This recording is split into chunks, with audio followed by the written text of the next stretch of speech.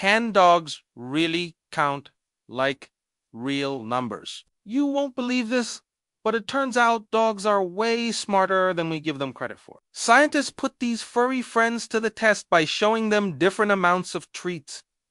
And guess what? When something didn't quite add up, like when one treat magically turned into three, they totally noticed. It's wild. Dogs actually have this amazing thing called a number sense. Now, don't get me wrong.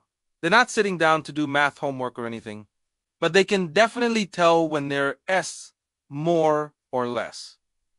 Isn't that incredible? Stick around because there's so much more to discover about our clever companions. That's why your pup knows if you gave them two cookies yesterday, but only one today. They're not doing the math. They're just using their number sense. So, no, your dog won't help you with your taxes, but they will let you know if you're shortchanging them on snacks. Subscribe for more.